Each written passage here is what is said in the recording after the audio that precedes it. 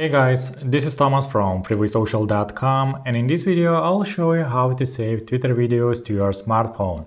If you just found an interesting video on Twitter and would like to save and download it to your mobile phone, then just follow these steps.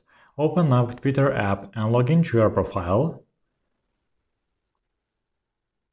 Find the video which you would like to save to your phone.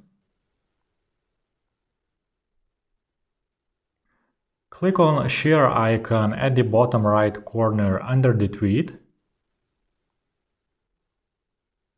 From the menu, select Copy link to tweet.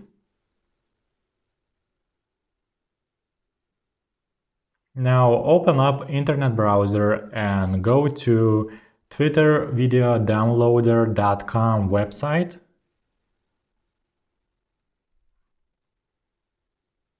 Paste the link in the box and click on download.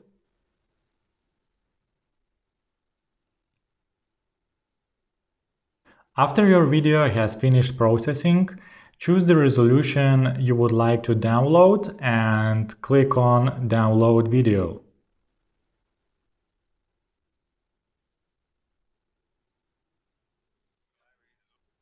Click and hold on the video and choose download video once again. That's it, video should start downloading and it will be saved to your mobile phone's memory. I hope this guide was helpful and you were able to save Twitter videos to your smartphone. Don't forget to like this video and visit us at freewaysocial.com.